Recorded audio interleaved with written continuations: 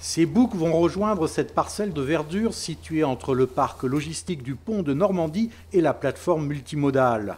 À terme, une vingtaine d'animaux seront réunis sur ce site avec pour mission d'entretenir la biodiversité de cet écosystème.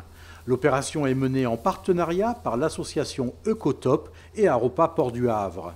Le Grand Port Maritime nous a demandé euh, d'assurer la gestion écologique d'espaces qui se trouvent dans la zone portuaire et qui ont une particularité, ces espaces, c'est que bien qu'ils soient situés à côté de sites industriels, qu'ils soient situés à côté de, sites euh, logistiques, ce sont de petites pépites écologiques. Et plutôt que de les entretenir avec des moyens mécaniques, on a choisi ici une méthode douce d'entretien qui s'appelle l'éco-pâturage. C'est une méthode euh, pleine de bon sens qui consiste à ramener les animaux herbivore à gérer euh, l'herbe, à gérer les végétaux. C'est-à-dire que les animaux vont contenir la végétation, vont vraiment la maîtriser, mais sans jamais lui exercer de pression trop forte, ce qui fait que la biodiversité va s'y développer.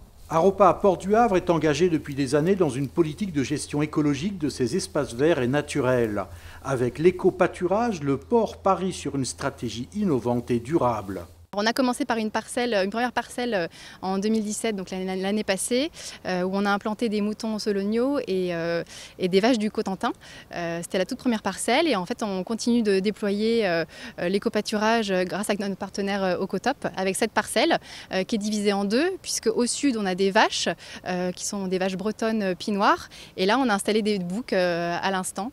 et on a une troisième parcelle qui sera dédiée aussi à l'éco-pâturage, qui cette fois-ci va être le long des berges du Grand canal du Havre et là ça va être également des moutons. L'éco-pâturage permet de préserver la biodiversité, il permet aussi de réintroduire des espèces rustiques qui disparaissent peu à peu de nos paysages.